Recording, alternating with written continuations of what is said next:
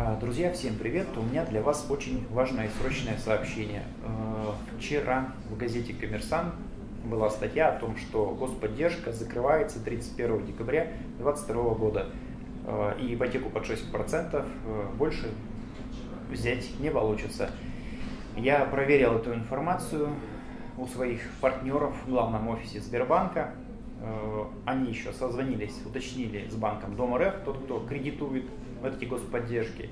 Да, действительно, э, ту программу, которую продлевали до 2024 года, сократили до 22 Все.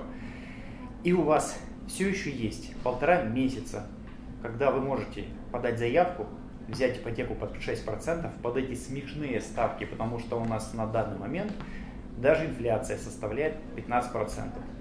У нас по-прежнему э, готовы застройщики, которые аккредитованы и подходят под эти программы. И у нас как минимум, я не знаю, там 145 объектов в работе, которые подходят под программу господдержки. Обращайтесь в наши офисы, звоните, готовы вам помочь. Это был я, Викулов Денис, на канале «Недвижимость Байкал».